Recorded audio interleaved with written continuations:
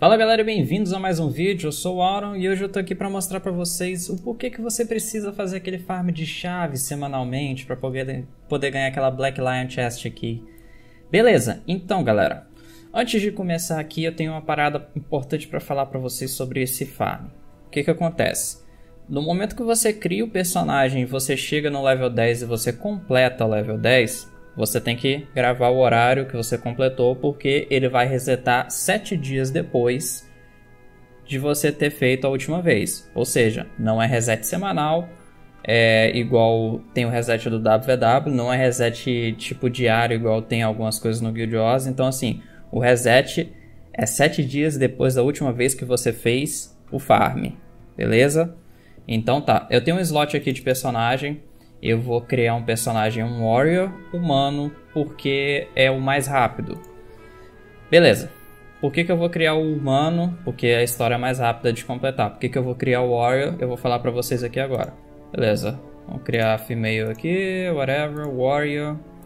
E aqui é uma parada importante para vocês. Eu vou te falar o porquê você precisa de escolher no helm at all. Para ela escolher essas pauldrons aqui. A segunda coisa que você precisa escolher é I was raised by common folk. Essas outras opções não importam. E vamos colocar um nome aqui qualquer. Beleza. Vamos skipar aqui o negócio. Aí a gente vai aqui para tela de start aqui o tutorial. Você tem duas maneiras de sair desse tutorial. Eu vou ensinar as duas maneiras aqui cortando o vídeo. A primeira maneira de sair do tutorial, ele tá te mandando ir aqui para baixo, conversar com o NPC, você pode skipar isso tudo. Depois ele vai te mandar vir para cá e entrar na Garrison. Só que esse não é o melhor caminho para você ir para lá. O melhor caminho, na verdade, para você chegar lá é passando aqui pelas abóboras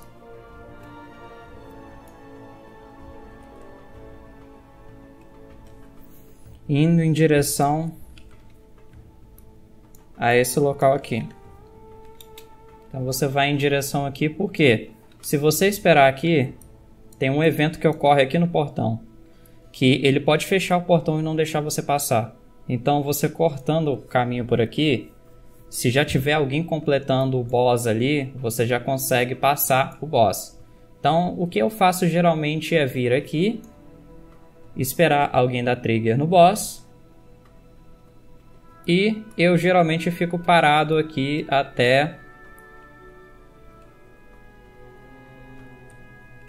Eu geralmente fico parado aqui até alguém derrotar esse champion aqui. Beleza? Então a gente efetivamente cortou aquela parte lá de trás que a gente tinha que ficar esperando o portão ser aberto. Daí a gente vai para a fase aqui de luta. Depois dessa fase de luta, a gente vai acordar em Queensdale e a gente pode prosseguir para o nosso segundo método. A segunda maneira de você sair daqui é muito mais rápida, porém é um pouco mais cara. Para você fazer essa segunda maneira, você vai precisar de duas coisas. A primeira coisa que você vai precisar é são dois slots compartilhados. Então, dois slots compartilhados que você precisa. Em um dos slots tem que ter um Home Portal Stone e no segundo slot vai ter que ter um Passkey. Qualquer desses Passkey pode ser é, aqueles é, passes de duas semanas ou então pode ser o infinito, preferencialmente o infinito, caso você vá repetir esse farm toda semana. No, caso, no meu caso aqui, o Mishlock Sanctuary. Pode ser qualquer outro passe que te leva é, a um local que te fornece um NPC para poder teletransportar você para qualquer cidade. Então o primeiro passo é, você logou aqui na instância, você vai usar o Home Portal Stone. Caso você tenha SSD, isso vai te ajudar bastante também. Logo em seguida você vai usar o seu passe, porque você não tem como utilizar o passe dentro da instância de história, né, a instância tutorial. Então, eu utilizando o meu Mistlock aqui, eu já teleporto com o meu personagem do Mistlock Sanctuary no nível 1. Se você for olhar aqui embaixo, meu personagem está no nível 1. Então, eu vou apertar aqui e ele vai me pedir para qualquer local que eu quero teletransportar. Então, eu vou pedir para me teletransportar para Divinity's Reach. E teleportando para Divinity's Reach, eu efetivamente cortei o tutorial. Eu, se eu sair para Queensdale aqui agora, vocês vão ver que eu vou receber aquela cutscene que eu recebo quando eu saio do tutorial. Então eu já corto a cutscene aqui, já ganho o meu level do tutorial e já passo para o nível 2. A partir daí, o que você vai precisar para fazer é chegar ao level 10 para poder fazer a sua história. Beleza? Para chegar ao level 10 a gente tem duas maneiras. A primeira maneira é a mais longa e mais demorada. A gente vai vir para Divinity's Reach de novo. Você vai fazer tra essa trajetória aqui em Divinity's Reach para chegar até a sua estação aqui. Nesse caso aqui, é... tá um pouco errado, desculpa. Você vai chegar até o Cooking Station aqui em Divinity's Reach. Chegando no Cooking Station, você vai conversar com o chefe e vai pedir para te ensinar a ser um chefe. Eu vou deixar na descrição o guildwars2crafts.net que você vai precisar fazer basicamente o seguinte, você vai precisar é, chegar no craft do seu personagem do 1 ao 200. Se você chegar no craft 200 com seu personagem, você automaticamente destrava o nível 10 que você precisa. Ok? A segunda opção seria você vir daqui, né? Até qualquer crafting station dessa daqui. Porque a, o pessoal que está começando não sabe disso, mas os veteranos sabem que qualquer crafting station que você tiver vai te dar acesso ao seu banco também. Então, aqui no seu banco, qual item que você vai pesquisar? Você vai precisar desse item aqui, ó o Tomes of Knowledge. Como você consegue o Tome of Knowledge? As duas melhores maneiras de conseguir Tome of Knowledge são fazendo PVP ou WVW. Cada rank no PVP, cada rank no WVW te dá um Tome of Knowledge e as suas é, as suas reward tracks de PVP e de WVW também te dão Tomes of Knowledge. Então cada tomo desse daqui é igual a um nível de personagem. Ok? Então essa é a maneira mais fácil de você upar seu personagem para um level 10. Eu tenho dois níveis, mais 8 dá 10 para destravar a minha história. Ok? Então vou utilizar esse método aqui para poder destravar a história. E meu personagem chegar até level 10.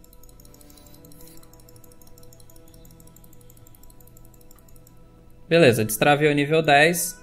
Ele automaticamente aqui eu recebo o meu meio com as instruções de como completar a história. Depois que eu recebo aqui, eu já tenho a seta aqui que vai me levar até a missão de história que está aqui em cima na minha home instance. É por isso que se eu tiver na se eu tiver esse Home Portal Stone, isso aqui fica muito melhor para mim. Por que, que isso fica muito melhor para mim? Porque eu posso usar minha Home Portal Stone, vir para Divinity's Reach aqui pelo portão e liberar automaticamente aqui esse waypoint. Beleza? Então, on demand, eu já entro na minha primeira instância de história. Tá, mas antes de entrar na minha primeira instância de história, a gente vai fazer o seguinte.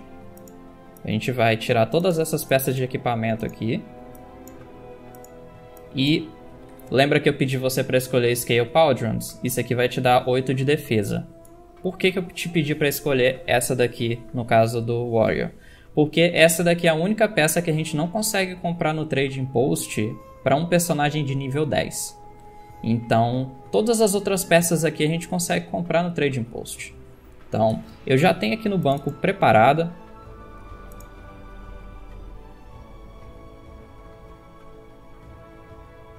as minhas peças aqui, ó. Já tem todas as peças preparadas aqui. E eu vou mostrar cada uma delas aqui. Para vocês. Beleza. Então a gente foi com Warrior Pure Power. Ok?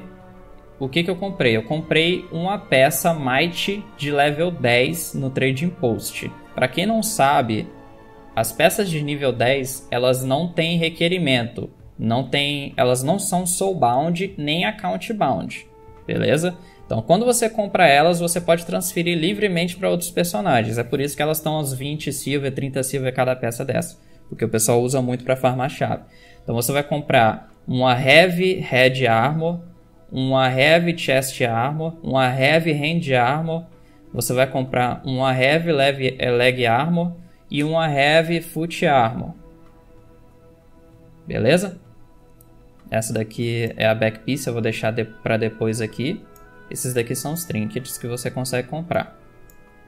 Então aqui a gente tem essas peças de armadura. Essas cinco daqui você consegue comprar. As três armas que eu escolhi foram é, uma espada de level 10, um axe de level 10 e uma Great Sword de level 10. Eu vou explicar depois o porquê. Os trinkets aqui são dois, é, são dois anéis de level 10 e dois, é, dois anéis aqui, desculpa, de level 10 e dois acessórios de level 10. Eu falei que elas não são nem soulbound nem account bound, mas você pode ver aqui que todas as minhas peças estão account bound. Isso tem um motivo. Por que, que elas estão account bound? Porque eu coloquei em todas as minhas peças, eu coloquei runas e coloquei sigils. Ou no caso aqui do seu, dos meus dos meus trinkets aqui, esses aqui não estão account bound, mas eu também coloquei um Garnet Pebble que me dá mais 3 de power. Beleza? Então, quais runas eu coloquei? Eu coloquei a Minor Rune of Holbrack, coloquei Minor Rune of Centaur, coloquei Minor Rune of Strength, Minor Rune of the Citadel, Minor Rune of Vampirism, coloquei Minor Sigil of Bloodlust, ou seja, duas, uma na espada e outra na Sunrise, né, que é a minha Great Sword. Coloquei Minor Sigil of Speed, na, na no Axe e coloquei Minor Sigil of Speed também na Great Sword. A partir do momento que você coloca aqui, as suas, os seus equipamentos viram account bound, o que é bom porque você vai colocar todas essas peças aqui no banco depois para você repetir o farm com seu personagem na outra semana. Ok? Então, beleza, a gente equipa essas peças aqui. Eu vou equipar primeiro a espada, eu, depois eu equipo a minha, é, o meu axe, depois eu equipo a minha Great Sword. Então eu vou equipar os meus trinkets aqui. E a gente chega na última peça aqui, que é a Back Piece. A Back Piece é o seguinte, você não tem como comprar no, tra no Trading Post, mas qualquer profissão que você tenha no jogo, você consegue fazer uma Back Piece de level 10, na verdade é de level 1, né? É o requerimento. Que você pode colocar uma Garnet Pebble para mais 3 de Power. Ou seja, isso aqui são mais 5 de Power. Sacou? Então, assim, a gente colocou esse aqui. Eu transmutei todas as minhas peças também. E uma coisa importante para eu falar para vocês é o seguinte: é, essas peças minhas aqui, todas elas têm runas diferentes, por quê? Porque é, eu só quero pegar o primeiro status da runa, eu não quero pegar o segundo status da runa. Eu não quero pegar mais 4 de Might Duration. Eu quero pegar só Power para eu poder ter dano bruto. Então, se eu remover uma dessas peças aqui, você vai ver que o meu power aqui está 210 agora. Eu tenho mais 19 de power com, essa, com, essa com esse equipamento aqui equipado. Ou seja, se eu colocar essa daqui, essa peça aqui, eu vou ter mais 219, 229 de power. Ok? Então, você pega o bônus aqui de todas, os, de todas as runas aqui. Então, beleza. Nessa instância de história aqui, por que, que eu utilizo a Great Sword? Porque Great Sword é uma boa é, é uma boa arma de mobilidade. Eu utilizo a 2 da espada, a 3 e a 5 da Great Sword para me movimentar. A gente conversa com o pessoal, a gente vai começar a luta aqui e se você tiver com todas essas armaduras e armas aqui, o que eu aconselho você fazer é puxar todos os inimigos lá para cima. Para ela me seguir também.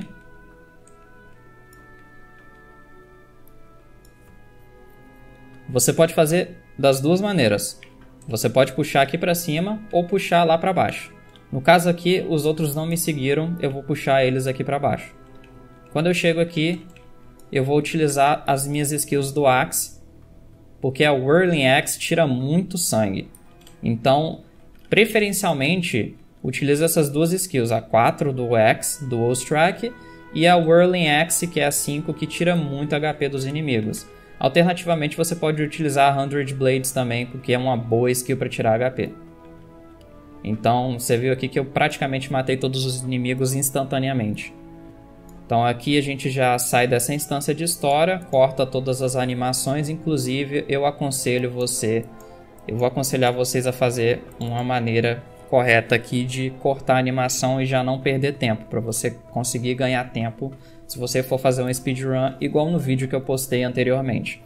Beleza, saindo daquela instância de história, eu nem espero sair da instância de história não, eu já abro o mapa e já me teleporto aqui para Shaymore Waypoint. Daqui eu tenho duas opções, ou ir andando se eu não tiver nenhuma expansão, né, se eu não tiver o Path of Fire, ou então, se eu tiver o Path of Fire e o, o, o Raptor com Leap, eu já uso o Raptor. A gente vai conversar com o Lieutenant Francis aqui. E a gente vai direto para a caverna aqui que ele pede para a gente ir.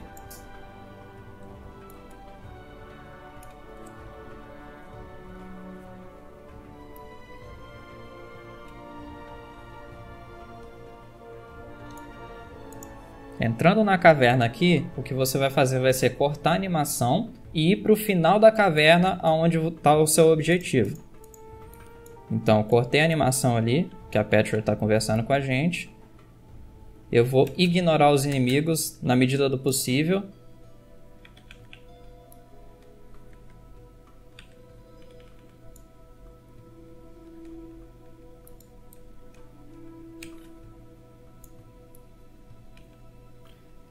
Daí eu vou subir as escadas.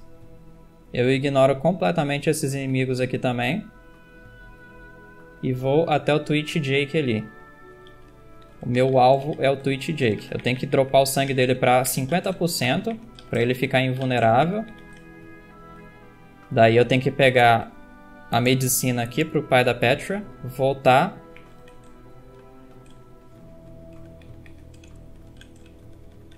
e matar todos esses inimigos aqui para poder dar trigger na animação. Aqui é o seguinte, eu já esquipo a animação, essa é a dica que eu tenho para vocês. Esquipa a animação, já abrindo o mapa e teleportando para fora da instância. Você não precisa sair da instância. Se você sair da instância para depois ir para o seu objetivo, você vai perder tempo.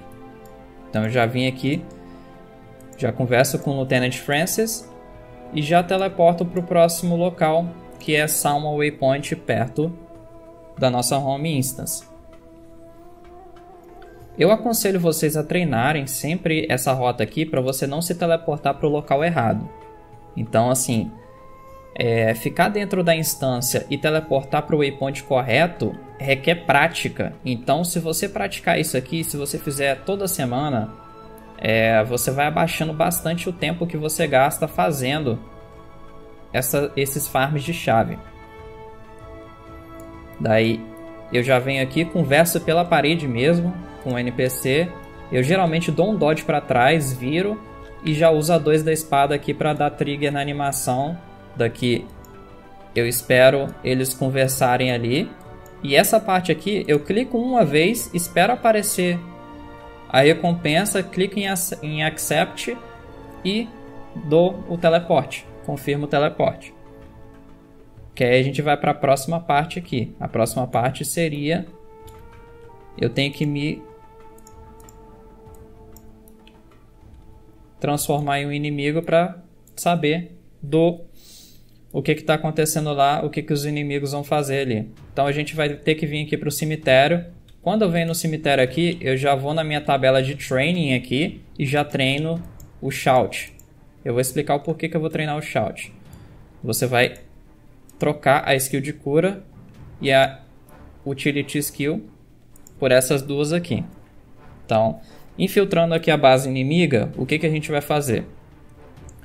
É, essa skill for Great Justice é uma skill que ela tem um cooldown de 5 segundos com um recharge de 25 segundos. O que, que ela acontece? Ela tem uma skill que ela tem duas munições, ou seja, ela te dá 12 de might. Combinado com essas duas skills aqui, você vai fazer um dano do caramba. Então aqui é, eu já venho pra frente aqui, já usando a skill 5 aqui para poder atacar o inimigo, apertar F ou apertar o botão que você precisa pegar ali a roupa do inimigo para poder virar um bandido aqui e poder completar a missão. Aqui, dentro dessa instância, a gente tem três coisas, três objetivos que a gente precisa fazer. A gente precisa pegar a informação da Eye dela, a gente precisa pegar a informação do Blaze e a gente precisa pegar a informação do Uptown Johnny.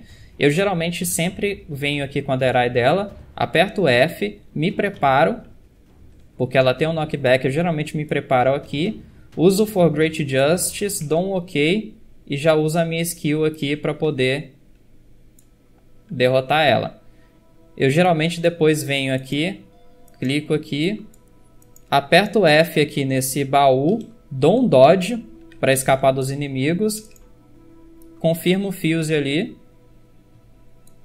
e já converso com o Blaze. É importante dizer que para você conversar com o Blaze você precisa clicar nos diálogos todos dele. Ok? Já com o Uptown Johnny, é só você conversar uma vez com ele e colocar a opção Nobody, I, don't, I won't bother you. Já deu aqui Talk to Captain Thackeray. O que a gente vai fazer? A gente vai teleportar de novo para Salmo Waypoint quando dá aquela mensagem. E daqui a gente já vai fazer um 180 aqui, quase um 180, né? A gente vai para o escritório do Logan aqui Lembrando que a gente tem que fazer um escritório do Logan aqui e abrir esse waypoint aqui, porque a gente vai precisar dele depois. Então a gente já vai continuar com a nossa história aqui com a infiltração. A gente tirou as informações dos inimigos e a gente vai saber onde é que eles vão atacar. Eu já clico aqui no, no Logan e já escolho a primeira opção. A segunda opção tem gente que fala que é mais rápido, só que eu geralmente gosto de fazer a primeira opção, então eu vou cobrir a primeira opção e vou falar para vocês como é que eu cubro a primeira opção. É, eu já seleciono aqui o que eu preciso, abro o mapa, aperto Page Down. Para você saber, eu desço um level aqui no mapa, né? Que no meu caso aqui é Page Down no teclado.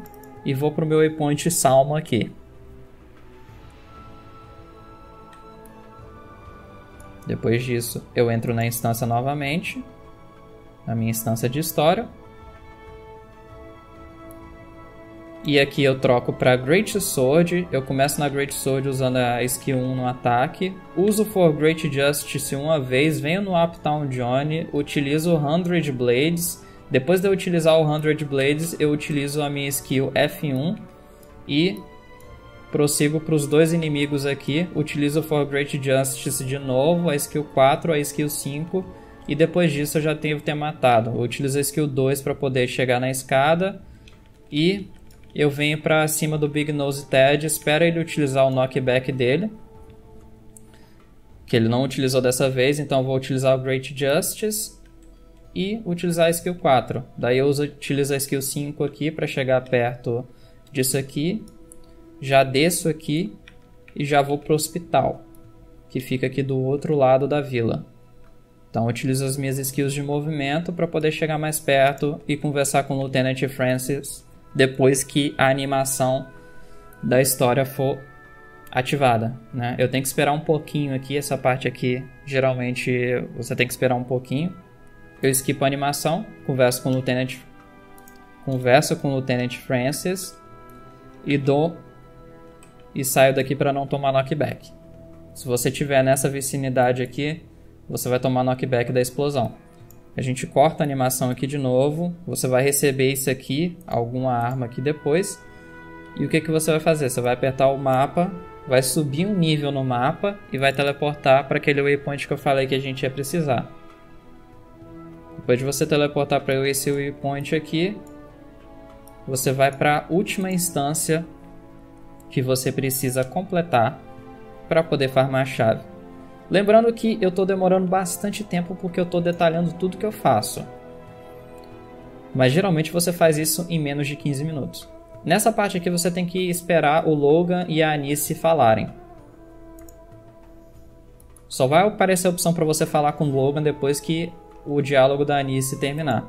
Então você vai conversar com o Logan, depois você vai conversar com a Anice e você já vai para a cela para poder se posicionar. Porque a gente vai se disfarçar de inimigo para saber quem é que está é, liberando os inimigos aqui. Nesse caso a gente já sabe quem é, né? Mas a gente vai saber quem é que está liberando esses inimigos aqui da prisão.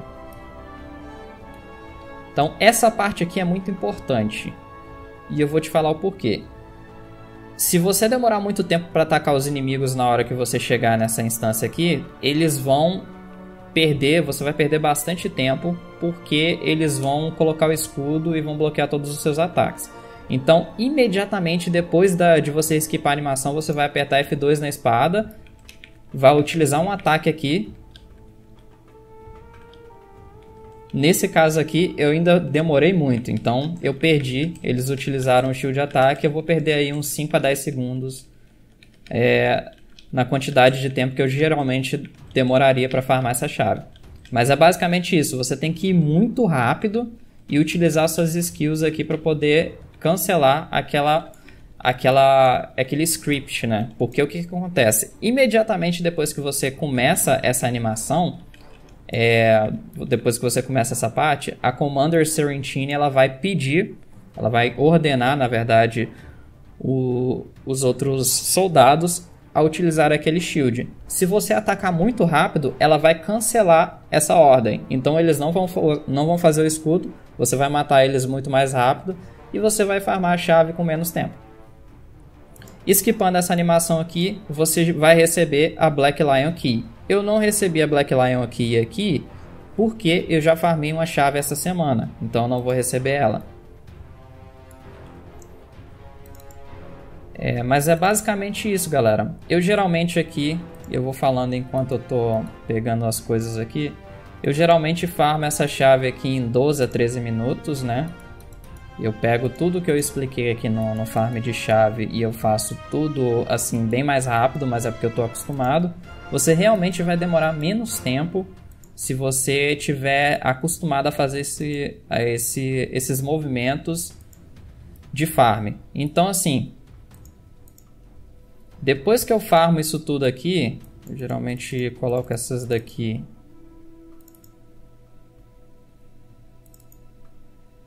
Eu geralmente utilizo essa, esse crew de salvage kit aqui. Coloco o salvage all deposito tudo que tem para depositar e deleto o resto aqui que eu não consigo depositar. Dois dos itens que são muito interessantes aqui para você para você não se desfazer são Embroidered Coin Purse e Bags of Loot. Você vai receber um Embroidered Coin Purse que você pode abrir num personagem mais, de level mais alto depois e 11 Bags of Loot. O que, que você vai fazer depois que você terminar essa instância? Você vai apertar M para entrar no mapa, vai teleportar para aquele waypoint ali e você vai para o waypoint que tem aqui em cima, que vai ter o banco para você poder colocar suas coisas ali no banco. Então chegou aqui no banco, você vai guardar a sua Embroidered Coin Purse, você vai guardar a sua Bag of Loot, você vai guardar a sua Black Lion Key. E, mais importante de tudo, você não vai esquecer de desequipar aqueles itens que você colocou aqui no seu personagem. Se você não se esquecer, se você se esquecer de desequipar e você deletar o personagem depois, você tá frufru. Porque isso aqui, você vai gastar uns 4 a 5 gold para fazer isso aqui. Então não se esqueça sempre de se desequipar. Então suponhamos aqui que eu estou com os três itens aqui. As Bags of Loot, Embroidered Coin Purse e a minha, e a minha Black Lion Chest Key. Eu não desequipei isso aqui porque lembra galera que isso aqui eu peguei na instância de história aqui escolhendo no personagem. O que, que eu vou fazer? Eu estou com o meu personagem praticamente pelado aqui. Eu vou dar logout no personagem. Eu vou confirmar que eu estou clicando nesse personagem e vou deletar o meu personagem. Eu não vou deletar o personagem porque eu sempre deixo o personagem é, com uma semana de uso, deleto ele, crio outro personagem para poder é, geralmente manter meus slots cheios, não precisar de gastar meu slot, porque vai que eu gasto, né? Então é isso aí, galera. As minhas recomendações são que você faça o farm de chave com a com a classe que você está confortável, mas geralmente as classes mais rápidas são Elementalist e Guardian e Warrior. Eu faço no Warrior, te ensinei a fazer no Warrior e agora vocês façam o que vocês quiserem. Eu vou logar em outro personagem aqui, por quê? Porque eu falei para vocês aí que é bom farmar chave toda semana. Eu sempre falo isso, que é bom farmar chave toda semana. Mas eu não falei o porquê que é bom farmar chave toda semana. Então, eu tenho aqui meu banco permanente. E eu tenho aqui Black Lion Chest. Black Lion Chest, vocês sabem, eu já falei, todo mundo conhece. Tem várias coisas na Black Lion Chest. O porquê que é bom farmar chave toda semana? Você recebe muita coisa que você não receberia se você estivesse jogando o jogo normalmente. Uma das coisas que sempre vem que são muito boas são nas sessões de não comum. Então, se você é, se você reparar, sempre tem algum skin aqui que, por exemplo, esse package aqui do Scarab, que vem o Glider e a Backpiece e Exalted Gloves, esses itens aqui são esses são é, exclusivos da Black Lion Chest. É, eu não vou dizer que você vai dropar coisa boa na Black Lion Chest, até porque o drop de todo mundo é diferente, o RNG assim, domina isso aqui. Mas farmando Black Lion Chest e uh, comprando Black Lion Chest com meu farm de gold alternativo, eu já dropei três contratos permanentes. Então, assim, você pode não ter sorte, mas você pode ter uma sorte do cacete. Um dos contratos permanentes que eu dropei foi o Banco Infinito. Se você tiver uma sorte de dropar o Banco Infinito, por exemplo, você pode ganhar 3.400 gold. É lógico que você vai ter os 15% ali, né, de de venda que você tem que pagar, então não, você não vai ganhar 3.400 gold. Mas você vai ganhar muito mais gold do que você não ganharia se você não tivesse apostado nisso aí. Então assim, eu não recomendo o pessoal que está jogando gastar dinheiro com Black Lion Chest Key. Eu não recomendo se você não farma muito, se você não tem é, objetivo no jogo. Eu não recomendo você comprar Black Lion Chest Key, mas eu recomendo todo mundo, se você tiver 20 minutos da sua semana, a farmar uma chave utilizando esses métodos. Como você vai chegar no level 10, não importa. Tem dois motivos aí, tem dois... Se você fizer WW, se você fizer PVP, você vai ter é, Tomes of Knowledge. Se você não fizer WW nem PVP, você tem como fazer o seu craft do 1 ao 200. Lembrando que se você escolher a rota do craft do 1 ao 200, Tá na descrição aí abaixo o link do que, que você vai precisar. É óbvio que você vai precisar de tirar um pouco mais tempo, porque você vai precisar de tirar os materiais e colocar os materiais no banco. E uma outra coisa que você vai precisar vai ser de passar o tempo craftando as coisas, né? Então você vai precisar de tempo para comprar os materiais e tempo para craftar as coisas, o que vai deixar o seu farm um pouco mais demorado, o seu farm da chave. Mas é isso aí, galera. Por hoje é só. Assim, Caso você queira comprar o Guild Wars 2, caso você seja novo no jogo, caso você queira comprar o Guild Wars 2 para você, ou para algum amigo, ou para algum parente, etc., considere utilizar os meus links da descrição aí abaixo, porque aí você vai estar tá me ajudando a pagar um refrigerante. Alternativamente também, eu acabei de conseguir afiliado no Twitch, por causa do pessoal que me assiste aí, e o pessoal também que está no Discord com a gente aí sempre ajudando. Então, assim, é, Considera também nas minhas lives aí assistir pelo Twitch. O link também tá na descrição do, do vídeo aí. Então, assim, eu vou sempre tentar fazer pelo menos duas ou três lives por semana. E é isso aí, galera. Eu sou o Auro mais uma vez. Fui e até a próxima.